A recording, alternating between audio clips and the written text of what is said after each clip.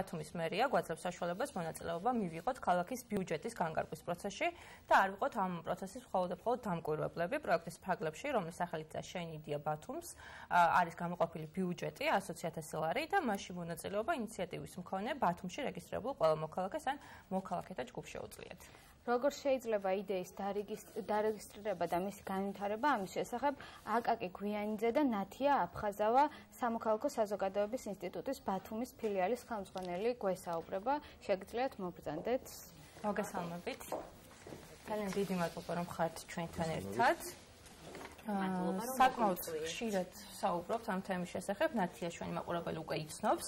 აკაკი გვიანიძე არის ბათუმის მუნიციპალური სერვისების სააგენტოს სამსახურის უფროსი რომელთანაც გავიდით რა თქმა უნდა ამ თემას. თუმცა მანამდე ნათიას უნდა ვკითხოთ ისევ და ისევ რა კი თქვენთან ერთად საუბრობთ ხოლმე იმის შესახებ თუ რატომ არის მნიშვნელოვანი ზოგადად საზოგადოების ჩართვა ქალაქის განკარგვის პროცესში როგორია მოქალაქეების დამოკიდებულება ზოგადად და როგორ შეიძლება თქვა ამ პროექტის საშუალებით ესე რომ ვთქვათ, გარდამტეხი დამოკიდებულება გაუჩინოთ და დაინტერესება გაუგვიძოთ და უთხრათ მას, რომ მათ შეუძლიათ არ იყვნენ მხოლოდ მხოლოდ დამკვირვებლები და უფრო მეტი გააკეთონ თავიანთი ქალაქისთვის. მადლობა, მართალი ხართ ჰეშტეგს და ზოგადად საზოგადოებრივ მაუწყებელმა არაერთი სიუჟეტი დრო დაუთმო სწორედ მონაწილეობით პრინციპების გაძლიერებას თვითმართველობაში და სწორედ ჩვენი ორგანიზაცია სამოქალაქო საზოგადოების ინსტიტუტი ბათუმში დაახლოებით 2010 წლიდან მუშაობს სწორედ თვითმართველობაში მოქალაქეთა მონაწილეობის გაძლიერებაზე და იმაზე რომ თვითმართველობის არსი და საწყისი ვართ ჩვენ მოქალაქეები და ჩვენი ხმა მაქსიმალურად იყოს მიტანილი, გაგონილი და მოსმენილი და გაზიარებული თვითმართველობის საქმიანობაში. სწორედ მონაწილეობითი ბიუჯეტირება და სწორედ ეს პროექტი შენიდია ბათუმს ემსახურება ამ პრინციპის გაძლიერებას. მონაწილეობითი ბიუჯეტირების ესე რომ ვთქვა არსი და სტანდარტი არის ერთ-ერთი ყველაზე მაღალი საფეხურად ითვლება თვითმართველობაში მოქალაქეთა მონაწილეობის განვითარებისა და სწორედ ამ კუთხით ბათუმის მერიასთან დაახლოებით ერთი წლის წინ დავიწყეთ მუშაობა. ამ ამ ამ პროცესში ჩართული იყო USAID, the World, ასევე ბათუმის მერია საკმაოდ აქტიურად იყო ჩართული, რომ შექმნილიყო ისეთი სწორი ინსტრუმენტი და ქალაქზე მორგებული ინსტრუმენტი და არსებობს სხვადასხვა იგივე საერთაშორისო გამოცდილება, ასევე საქართველოსში ესე რომ ვთქვა, არაერთი გამოცდილება იმისა მონაწილეობით ბიუჯეტი ინტეგრების კუთხით, მაგრამ ბათუმი გამოირჩევა იმ კუთხით, რომ ბათუმის მერიმ აქტიურად იმუშავა ჩვენთან, ასე ვთქვათ, სხვადასხვა ექსპერტების მონაწილეობით, შეიქმნა ბათუმისთვის მორგებული და საინტერესო და აქტუალური მექანიზმი, რასაც ქვია ელექტრონული, ანუ პლატფორმის გზით ჩვენი იდეების რეგისტრაცია, პროექტის რეგისტრაცია, უბრალოდ და პროექტის შესახებ უკეთესაუბრება. ინფორმაცია შეუძლია აკაკის რო გაგვიზიაროს, აი ინფორმაციის გავრცელების გზების შესახებაც გვაინტერესებს. გაინტერესებთ, რა ხერხებს მიმართავთ და როგორ უნდა გაიგოს, როგორ უნდა ჩაერთოს უფრო მეტი ადამიანი აი ამ პროექტში. დიდი მადლობა პირველ რიგში გადაცემაში მოწვევისთვის. ძალიან კარგი გადაცემა და მინდა კიდევ ერთხელ დაგიგადასტუროთ პატივისცემა და ხაზი გაუსვა საზოგადოებრივი მაუწყებლის როლს და მნიშვნელობას მსგავს პროცესებში, იმიტომ რომ ჩვენო მოქალაქეებმა რაც შეიძლება მეტი ინფორმაცია უნდა მიიღონ მიმდინარე პროექტების შესახებ და ზოგადად მუნიციპალიტეტის და სახელმწიფო ორგანოების მუშაობის შესახებ, იმიტომ რომ ეს არის გადამწყვეტი და უმნიშვნელოვანესი იმისაც, რომ მოქალაქე, ინფორმირებული მოქალაქე ნიშნავს აქტიურ მოქალაქეს, შესაბამისად ის თანხა, რომელიც ჩვენი ჯიბიდან თითოეულ მოქალაქის ჯიბიდან არის ამოღებული და ამით იქნება ბიუჯეტი, რა თქმა უნდა, როგორ დაიხარჯა, როგორ განიკარგება ამ ამ შესახებ ინფორმაციას და მონაწილეობას მოქალაქეს აუცილებლად უნდა შეეძლოს. თქვენ ცნებართით 2 1 წუთს წაგართმევთ და ვიტყვით, რომ ბათუმის მერია მუშაობს ელექტრონული მართლობის მიმართულებით, ამის დადასტურება არის ისიც, რომ ზუსტად ერთი წლის წინ შეიქმნა მუნიციპალური სერვისების სააგენტო, მე ერთი წლის ანგარიშიც და ამ პროექტის შესახებ ინფორმაციაც წამოვიღე, იმისთვის რომ თქვენს გაეცნოთ და უფრო მეტი ინფორმაცია გქონდეთ ქალაქში ელექტრონული მართლობის შესახებ, და ზოგადად მინდა აღვნიშნო, რომ ბათუმის მერია აქტიურად მუშაობს ელექტრონული მართლობის მიმართულებით, რომ მოქალაქეს კომფორტულად, მაქსიმალურად მეტი ინფორმაცია მიდიოდეს და ვარცელოთ მეტი გადაწყვეტილების პროცესში იყოს ჩართული, ისე რომ ამისთვის თუნდაც სახლიდან გასვლას არ ჭირდებოდეს. მით უმეტეს ინტერნეტის და სმარტფონების და კომპიუტერების ერაში, რა თქმა უნდა, უფრო მეტი ადამიანი ერთვება მსგავს მსგავს თემებში. ახლა რაც შეეხება კონკრეტულად იდეა აიდეა ბათუმიჯის ანუ მონაწილეობით ბიუჯეტის ვებგვერდს და მონაწილეობით ბიუჯეტს შემიძლია ბათუმს ძალიან მნიშვნელოვანი არის ამ პროექტში მოქალაქეების ჩართულობა. ჩვენ მათ მივეცით შანსი რომ ელექტრონულად სახლიდან გაუსვლათ მონაწილეობა მიიღონ ბიუჯეტის დაგეგმვაში. გადაწყვიტონ თუ რა პროექტები უნდა დაფინანსდეს ქალაქის ბიუჯეტიდან და რა უნდა იყოს, როგორი უნდა იყოს მათი მათი მომავალი მათი ქალაქის მომავალი. ამიტომ ძალიან მნიშვნელოვანია რომ ბევრი ადამიანი იყოს ჩართული და აქტიურობა ძალიან დიდი არის, ძალიან ბევრი ადამიანი გვეხმიანება, ჩვენს მაქსიმალურად ვცდილობთ რომ რაც შეიძლება მეტი ინფორმაცია მივაწოდოთ მოქალაქეებს ყველა შესაძლებელი ხერხით, მათ შორის ნათიას ორგანიზაცია და USAID აქტიურად გვეხმარება საინფორმაციო კამპანიის წარმოებაში, პლუს ამას თქვათ ინტერნეტი, ტელევიზიის მეშვეობით მოუწოდეთ მოქალაქეებს, SMS-ებს უგზავნით და ბევრ მათგანმა უკვე მიიღო SMS-ი და ესეც რა თქმა უნდა დამატებით უფრო მეტი ადამიანის დაინტერესებას იწვევს და ძალიან ძალიან მინდა რომ მოკლედ მოქალაქეებმა შეძლონ ის რისი განხორციელებაც მათ უნდა წლების განმავლობაში, თუმცა ამის საშუალება შეიძლება მაშინ მათ ასე აქტიურად არ ქონდათ. თუნდაც თითოეულ თქვენთაგანი, როდესაც ქუჩაში გადაადგილდება, ძალიან ხშირად გაგიფიქრეთ და ჩემ მეგობრებს შეიძლება მეუბნება რომ ეს რომ აქ იყოს ძალიან კარგი იქნება ეს რომ ჩვენ ქალაქში იყოს უფრო აქტიური იქნება უფრო მეტი ტურისტი მოიზიდავს ასე შემდეგ დღეს მინდა მეგობრებო ყველას გითხრათ რომ დღეს გავთ ნამდვილად ამისი შანსი და თითოეულ თქვენგანს შეუძლია ყველა ეს პროექტი განახორციელოს ქალაქში ამ წელს და მომავალ წლების განმავლობაში რომელიც ამდენი ხის განმავლობაში ჩვენ თავებში იხარშებოდა და საზოგადოების საზოგადოებისთვის არ იყო ცნობილი. დიახ, ესე იგი დაინტერესებული მაყურებელი თუ კი გახსნის ამ პლატფორმას ნახავს რომ არის განყოფილებები, თქვა ეს არის კეთილმოწყობა, გამწვანება, სატრანსპორტო ინფრასტრუქტურა და ასე შემდეგ. საინტერესო ნაცია რომ ვუთხრათ ჩვენს მაყურებელს, რომელი მიმართულებით შეიძლება, თქვა იდეა მივაწოდოთ, ყველა მიმართულებას მოიცავს, თქვა ეს პროექტი თუ არის თქვა რომელიმე პრიორიტეტი? მადლობა. რომელიც აი იქნებ რჩევის სახით გავაშხებთ, რომ აი ამ მიმართულებით თქვა გაძლიერება უფრო სჭირდება ჩვენს ხალხს. მადლობა, მართლაც აქტუალური კითხვარი და იგივე ვაკეთებ როგორც აღნიშნე იმ საინფორმაციო შეხვედრებს, რომელსაც ახლა ვაკეთებთ, ეს კითხვებიც ისმის, რა არის მიმართულება, რომელი ჯობია, როგორ გვიშჩევთ. ამ ეტაპისთვის ბათუმის მერიასთან ეს როგორც შეთანხმებით გადავწყვეტეთ, რომ ყოფილიყო ღია სივრცე, არ ყოფილიყო შეზღუდული გარკვეულ მიმართულებებზე, რადგან პირველი არის და საპილოტო პროექტი არის.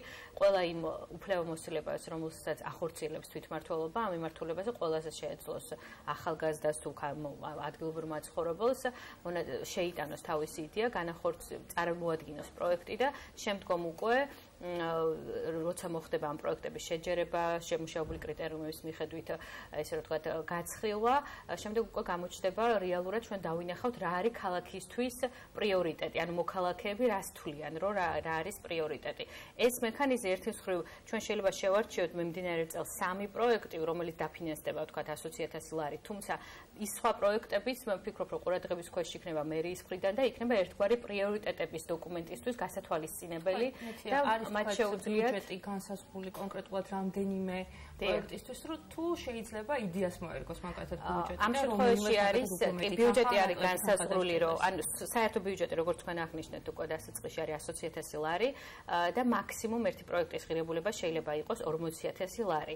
ანუ მიმდინარე წელს იგეგმება ესეთი 4 პროექტის სამი პროექტის დაფინანსება, თუმცა არის ესეთი ესე ვთქვათ პროექტებიც, რომ არ არის მოიცავს თქვათ 40000 ლარს და დავინახავთ, რომ არჩენილი არის რაღაც თანხა ყლობაში და თავისთავად შემდგომ პროექტს მიეცემა საშუალება, რომ ისიც დაფინანსდეს. თუმცა ეს 100000 ლარი არის საწყისი თანხა და ჩვენ თუ დავინახავთ, რომ ეს პროექტი წარმატებული არის, საინტერესოა, აქტიურობა არის მოქალაქეებისთვის, ჩვენ ვფიქრობთ, რომ 20-20 წლისთვის უფრო მეტი ბიუჯეტი იქნას გამოყოფილი და შემდგომში იგივე თქვათ, მაგალითად საერთაშორისო სტანდარტი ფაქტი არის, რომ ქალაქის ბიუჯეტის 1% უნდა მიდიოდეს მონაწილეობით ბიუჯეტირებასთან მიმართებაში. აი ხო წარმოვიდგინოთ ახლობით სადღაც 150 მილიონი არის მაგალითისთვის ქალაქის ბიუჯეტი, ამის 1% საკმაოდ მაღალი გამოვა. და პროექტის ტექნიკური დეტალებიც რო გავიაროთ, კი ძალიან მნიშვნელოვანი არის. შეუძლია კი აი აკაკი აკუთრით თავისი იდეა დააფიქსიროს ასე. დიახ. კი ბატონო, რაც შეეხება რეგისტრაციას, რომელზეც ძალიან ბევრი კითხვა მოდის და კიდევ ერთხელ მინდა თქვენს ტელემაყურებელს, ჩვენს მოქალაქეებს მივაწოდოთ ამის შესახებ ინფორმაცია. რეგისტრაციის ორი საშუალება არსებობს. პირველი ეს არის სახლიდან გაუსვლელად ელექტრონულად დარეგისტრირება. ამ შემთხვევაში ამისთვის საჭირო არის ეგრეთ წოდებული ID ბარათები, ანუ ელექტრონული პირადობის მოწმობა და ბარათის წამკითხვა, რომელიც შეუძლიათ იუსტიციის სახლებში მიიღონ. ან მეორე ვარიანტი ეს არის ლოკალურად ადგილზე დარეგისტრირება და ამისთვის ჩვენ გვაქვს მერი მერის შენობა მერის შენობა ლუკას 1025 ან 14 სერვის ცენტრი რომელიც ქალაქის მასშტაბით არის განაწილებული. აქვე მინდა ვთქვა რომ ჩვენ დავიწყეთ ახალი სერვის ცენტრების მშენებლობა რომელიც მაქსიმალურად მორგებული არის საზოგადო საზოგადოების ყველა წევრის საჭიროებებზე, მათ შორის ადაპტირებულიც არის და სასიამოვნო გარემოში ჩვენი ოპერატორები მოემსახურებიან მოქალაქეებს და არეგისტრირებენ თუ რაიმე სხვა კითხვებიც ექნებათ პროექტის წარდგენასთან და ნებისმიერ სხვა ეტაპთან დაკავშირებით, ამ ინფორმაციასაც მიაწოდები. ლოკალური რეგისტრაცია არის ერთჯერადი, მას სულ რაღაც 2 წუთის დაკარგვა უწევს იმისთვის, რომ ამ პლატფორმაზე დარეგისტრირდეს და შემდგომში ყველა მოქმედება ასევე სახნაგაუსლად ელექტრონულად სმარტფონების ან კომპიუტერების მეშვეობით არის შესაძლებელი. აქვე დავა ზუსტად თუ შეიძლება მოქალაქე რომელიც შემოიტანს იდეას მას ეკნება თუ არა ავტომატურად საშუალება რომ თვითონ განახორციელოს ეს იდეა თუ თქვათ მერია აიღებს ამ იდეას, გაიტანს ტენდერზე, როგორც შეიძლება და უკვე შესაბამისი კომპანია, შესაბამისი ორგანიზაცია ისუნებს ამ იდეის განხორციელებაზე. დიახ, ძალიან მნიშვნელოვანი კითხვა არის ამ თემასთან დაკავშირებით მინდა უთხრა, პირველ რიგში ეს პროექტი არის საზოგადოების სიკეთის შექმნაზე ორიენტირებული, ანუ ეს არ არის საგრანტო კონკურსი, როგორც როგორცაც თქვა, აქამდე აცხადებდა გინდმერი ან გინდ სხვა ორგანიზაციები, პირველ რიგში ეს უნდა ისახავდეს მიზნად ქალაქში საზოგადოებრივი სიკეთის შექმნას, ანუ მაგალითად სკვერის, გამწვანების, შიშუმპირებისთვის, გარემოს ადაპტაციის, ინფრასტრუქტურის ან ნებისმიერ სხვა მიმართულებით, თუნდაც არაფორმალურ განათლებად და თქვენ წეხან საუბრობდით კატეგორიებზე და მრავალფეროვანი კატეგორიები არის და ამავდროულად აქვე არის კატეგორია მუნიციპალიტეტის კომპეტენციას მიკუთვნებული სხვა საკითხები, რასაც კანონი გამარტავს ასე რომ ნებისმიერი საკითხი რომელიც არ არის სხვა ხელისუფლების ორგანოს ექსკლუზიური უფლებამოსილება, შეიძლება ასე მუნიციპალიტეტის უფლებამოსილება ჩაითვალოს. ანუ ძალიან ფართო სპექტრი არის მოქალაქეებს შეუძლიათ ნებისმიერი ტიპის განაცხადის გაკეთება, თუ რა თქმა უნდა დაასაბუთებენ რომ ეს არის ქალაქის საჭიროებებზე ორიენტირებული. რაც შეეხება რაც შეეხება უფლებებს, ანუ თქვით რომ აქ საავტორო უფლებები ამ შემთხვევაში არ ცხელდა არ ცხელდება იმიტომ რომ საუბარი არის საზოგადოების სიკეთის შექმნაზე ანუ მე მინდა რაღაც განხორციელდეს ქალაქში მაგალითად ახალი სკვერი იყოს პირობითად ვამბობ ან ეს სკვერი რაღაცნაირად თქვა ჩემთვის უფრო მისაღები გახდეს. ამ შემთხვევაში რა თქმა უნდა ამ ეს იდეა თუ განხორციელდება პირველ რიგში ეს არის ჩემი ინტერესი მაგრამ აქვე მინდა ხაზი გაუსვა იმას რომ თქვენ სწორად აღნიშნეთ რომ ოდესაც პროექტი გამოიმარჯვებს ის ტენდერზე გადის.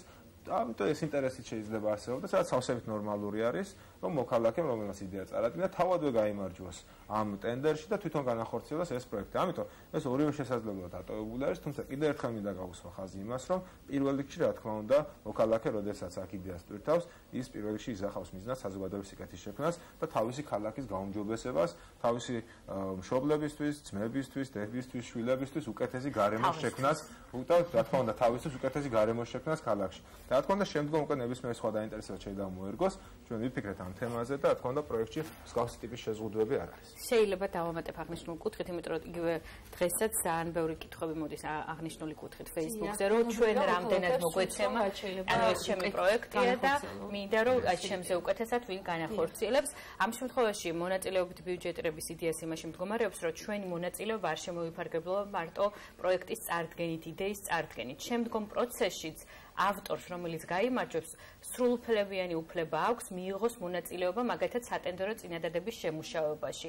ასევე არის შემთხვევები, რომ კონტრაქტს, რომელიც მაგალითად გამოიმარჯვა, შეპესე ნათიამ ამ პროექტის განხორციელებისთვის, იქ ჩადებული იქნება მუხლი, რომ აღნიშნულ პროექტის განხორციელებაში ითანამშრომლოს პროექტის ავტორთან. და უფრო მეტიც არის ესეთი გამოცდილება სხვადასხვა ქვეყნებში, რომ მიღება ჩაბარების დროს გარამარტო მერია აწერს თქვათ ხელს რომ ეს პროდუქტი შემუშ ეს პროექტი განხორციელდა და თქვათ შესრულდა. ამ შემთხვევაში პროექტის ავტორიც არის ხელმომწერი და ანუ ეს განადაწილებული არის ეს პროცესი სრულად პროექტის ავტორთან და გამარჯვებულთან. ჩვენ ვფიქრობთ, რომ ეს სტანდარტი დავნერგოთ ასევე ბათუმში, რომ მარტო იდეის წარდგენა და გამარჯვებით არ შემოიფარგლება ჩვენი მონაწილეობა, შემდგომ უკვე სატენდერო წინადადებაში ხშირ შემთხვევაშიც არის, რომ ისე არ გამოცხადდება ტენდერი ხოლმე, რომ აი რაღაცა გამოაკლდება და თქვათ იდეის ავტორმა უფრო უკეთ იცის რა არის, როგორი საღებავი შეიძლება უკეთესი იყოს ამ შენობის შესაძლებისთვის. ამიტომ ტენდერის გამოცხადების დროსაც შემდგომ სამუშაო პროცესის შესრულების დროსაც იდეის ავტორი მაქსიმალურად იქნება ჩართული და ამის ეს რო ვთქვათ ეს პროცესი მნიშვნელოვანი არის რომ ეს ციკლი მონაწილეობით ბიუჯეტების მარტო არ მოიცავს იდეებში იდეების წარდგენას თვითმართველობისთვის. ნათია პირველი კითხვების დროს ნაწილობრივ გავეცთ ამას პასუხი, მაგრამ აი უფრო ცალად რო ვისაუბროთ, აი მსგავსი პროექტი პროექტები რამდენად შეუწყობს? მოქალაქეს პასუხისმგებლობის გააზრებას, როგორ შეუწყობს ხელს და რატომ არის მნიშვნელოვანი რომ უფრო და უფრო უფრო მეტი ადამიანი ჩართოს ასეთ პროექტებში. ასოლებებით. დიახ, მონაწილეობით ბიუჯეტების ერთ-ერთი ესე რომ ვთქვათ გამოწვევა სწორედ ეს არის, რომ მოქალაქეებს უჩდება თავიანთ პროექტებზე, ან თქვათ მისი მეგობრის მიერ წარდგენილ პროექტებზე რაღაც საკუთრების შეგრძნების უფლება, საკუთრების შეგრძნების განცდა, უფრო სწორად, რომ აი ეს ჩემი პროექტია და თქვა ძალიან საამოყვალოთ, რომ ქუჩაში მიდიხარ და რაღაც ნახავ, რომ ეს ის პროექტი, რომელიც თქვა ჩემო მეგობარმა ან თუ ვიდ შენ წარადგინე, ის განხორციელებულია და საკუთრების შეგრძნება გიჩდება ამ ქალაქისადმი და თანა ესე რომ თქვა მე პასუხისგებლობა რომ ეს ქალაქი შენია და უნდა იზრუნო. თავისთავად ერთ-ერთი ესე რომ თქვა იდეა და მიზანი მონაწილეობითი ბიუჯეტების ეს არის რომ გაიზარდოს მოქალაქეების მონაწილეობაც და ამავე დროს პასუხისგებლობას ზრუნვა, პასუხისგებლობას და ზრუნვა ქალაქისადმი თუ სოფლებისადმი. ხა უბრალოდ ამ შემთხვევაში ქალაქზე ვსაუბრობ, თუმცა ესეთი პროექტები სოფლის ტიპის მუნიციპალიტეტებისთვისაც აქტუალური არის. აგაკი მოკეთ რომ ვთქვათ ჩვენს მოყოლებს როდემდე აქვთ მათ დრო რომ თავენთი იდეა შემოგთავაზონ და რას ელოდებით თქვენ პირადად ამ პროექტის? აა მოკლედ ერთნიშნულოვან დეტალს უნდა გაისვას ხაზი კიდევ რო არ დაგვავიწყდეს აუცილებლად უნდა ვთქვათ და მოქალაქეებს უნდა შევატყობინოთ რომ ამ პროექტის ერთ-ერთი ხიბლი ის არის და ამას ვამ ყველგან არ დავიღლებ ამის განმავლობით რომ საჯარო მოხელეები და ორგანო თვითონ მუნიციპალიტეტის მერია საერთოდ არიღებს მონაწილეობას გადაწყვეტილების მიღების პროცესში ანუ თუ გაქვს კარგი იდეა და თუ ფიქრობ რომ ეს იდეა უნდა განხორციელდეს ქალაქში, მოიპოვეს სხვა შენი თანამოქალაქეების მხარდაჭერა და შენი პროექტი აუცილებლად განხორციელდება. ეს არის კანონის მიერ ვალდებულება, ჩვენ თავად დავიღეთ ეს ვალდებულება და ვთქვით რომ ის პროექტები, რომელსაც მოქალაქეები წარადგენენ და სხვა მოქალაქეები გადაწყვეტენ ეს პროექტი უნდა განხორციელდეს, ის სავალდებულოა შესასრულებლად და შემდგომ რომელიმე თანამდებობის პირის კიდევ დამატებით რეზოლუცია ან ნებართვა აღარ არის საჭირო იმისთვის, რომ ეს პროექტი განხორციელდეს. ამიტომ ეს კარგად უნდა გავიაზროთ კიდევ ერთხელ, რომ არავისთან სადმე ოთახში რაღაც ჩაკეტილი საუბრები და რაღაც დამატებითი გავლენის მოხდენა არის საჭირო იმისთვის, რომ შენი პროექტი, შენი იდეა განხორციელდეს, რაც არ უნდა ვთქვათ, ჩვენ თვლიდეთ ეს მისაღებია თუ არა ქალაქისთვის, ეს არის ყველაზე მნიშვნელოვანი და თავარი, რომ ჩვენ აბსოლუტურ ნდობას უცხადებთ მოქალაქეებს და ვიცით, რომ მოქალაქემ პირველ რიგში ყველაზე კარგად იცის, თუ რა არის მისი ქალაქისთვის უკეთესი. რაც შეეხება ვადებს, ჩვენ 15 მაისიდან დავიწყეთ პროექტების მიღება, რომელიც 10 ივნისამდე გაგრძელდება. მთელი ამ პერიოდის განმავლობაში, რა თქმა უნდა, რეგისტრაციაც არის შესაძლებელი და ამის შემდგომაც იქნება რეგისტრაცია შესაძლებელი. 10 ივნისიდან 15 ივნისამდე პროექტების საბოლოო ჯამში შეჯერდება მრჩეველთა საბჭოსთან, რაზეც ალბათ ნათია იტყვის ერთოს თვალს და ამის შემდგომ 15 ივნისიდან 30 ივნისამდე იქნება ხმის მიცემის პერიოდი, როდესაც მოქალაქეები მათთვის სასურველ სამ ან თუნდაც მეტ პროექტს შეარჩევენ. რაც შეეხება ხმის მიცემის ნაწილს ერთ მოქალაქეს საშუალება აქვს სამ პროექტს მისცეს ხმა, ან თუნდაც ერთს, ორს ან სამ პროექტს მაქსიმუმ და ასევე მოქალაქეს აქვს საშუალება მხოლოდ ერთი ინიციატივის წარდგენის თითო ციკლში. ეს არის საპილოტო პროექტი, კიდევ ერთხელ აღვნიშნავ, 100.000 ლარი. ეს არ არის ის თანხა, რომელსაც ჩვენი აზრით მოქალაქე უნდა გეგონოს, გაცილებით მეტი წილი უნდა იყოს მოქალაქეებისთვის, თუმცა საპილოტო პროექტი, რა თქმა უნდა, ბევრ ამას აჩვენებს, ამიტომ ჩვენ თანამოქალაქეებს კიდევ ერთხელ მინდა მიმართო, რომ იაქტიურონ ამ პროექტის პარკლებში და რაც შეიძლება მეტი ინიციატივა წარადგინონ და რაც შეიძლება მეტი აქტიურობა გამოიჩინონ იმისთვის, რომ კიდევ უფრო მეტად გაიზარდოს მოქალაქის მიერ დასაგეგმი ბიუჯეტის წილი მუნიციპალიტეტში. ეს არის ისტორიული შანსი, ისტორიული პროექტი ბათუმის სინამდვილეში, ამიტომ დარწმუნებული ვარ და მოლოდინი მაქვს იმის, რომ ბევრი მოქალაქე შემოიტანს პროექტს და ძალიან ბევრი მოქალაქე იაქტიუროს და მიიღეს გადაწყვეტას, თუ რომელი პროექტები არის ღირსი მისი ჯიბიდან შეკრებილი თანხით რომ დაფინანსდეს. ველოდებით, რა თქმა უნდა, საინტერესო იდეებს. მადლობა თქვენი. ერთი დეტალი მინდა რომ აღნიშნო, რადგან ეხლა ძალიან აქტიურად მიმდინარეობს საინფორმაციო კამპანია ხვალ გვაქვს თავისუფალ სივრცეში 5 საათზე საინფორმაციო შეხვედრა და ჩვენ მაყურებელს თუ სურვილი აქვს რომ გაიაროს რეგისტრაცია და მიიღოს ამ პროცესში მონაწილეობას ეს შეხვედრა საჯაროა და შეუძლიათ რომ შემოგვიერთდნენ ხვალ 5 საათზე თავისუფალ სივრცეში. ძალიან კარგი, მაყურებელი უფრო მეტ ინფორმაციას მიიღებს. მადლობა და თუ კიდე ესწრებიან, მადლობა თქვენ საუბრისთვის ამ ინფორმაციის მოწოდებისთვის ნათია ფხაზავა სამოქალაქო საზოგადოების ინსტიტუტის ბათუმის ფილიალის ხელმძღვანელი და აკაკი გვიანიძე ბათუმის მუნიციპალური სერვისების აგენტოს სამსახურის უფროსი იყვნენ ჩვენი გადაცემის სტუმრები.